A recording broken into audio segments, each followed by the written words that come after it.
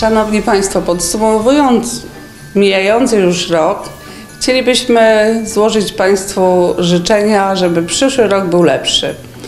Mimo, że rok 2020 okazał się y, dość dobrym rokiem dla agencji, mimo tego, że panuje pandemia, że ludzie są mniej dostępni dla pracodawcy, udało nam się zrealizować wszystkie zamierzenia.